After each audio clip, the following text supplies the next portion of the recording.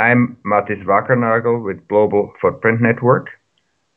And on the 21st of August, we will mark the 2010 Overshoot Day.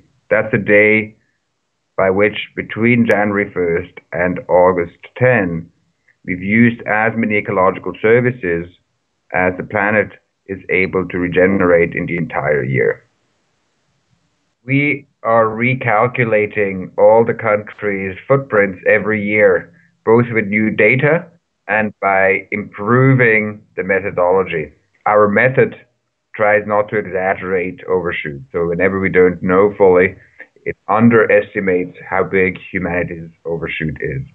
Uh, people start to recognize that the CO2 concentration in the atmosphere is increasing because of human uh, CO2 emissions.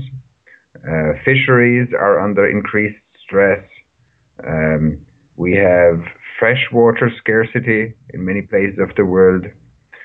So that's uh, more crowding in cities, etc.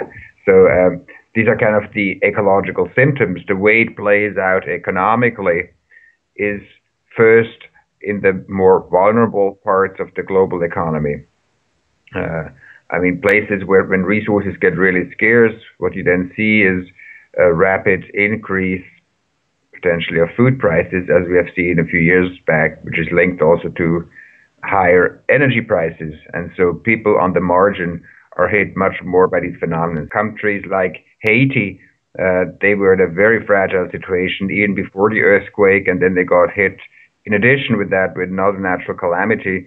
And it's incredibly difficult for such, such situations where you have um, no resources left and are economically devastated to to move out of that situation again. It's possible. I think. I mean, we would have to change the priorities of how we invest and what we what we value. Um, I mean, unless we we we make we make it a priority to turn around the trends, uh, it will be very hard for each country to uh, to to improve the situation. I actually, what surprises me most is that countries haven't fully understood their self-interest yet. If you don't adapt your economies for the resource scarcities that are looming on the horizon, then you just won't be ready. So you don't need to have an international agreement to get your own country ready, I believe. I mean, we would even say wait for global consensus and waste your future. If you truly just look at the resource trends and the situation of your own country, uh, you start to realize that much more aggressive resource uh, reduction targets will be in your self-interest as a country than Cancun or any further climate debate would ever come up with, I believe.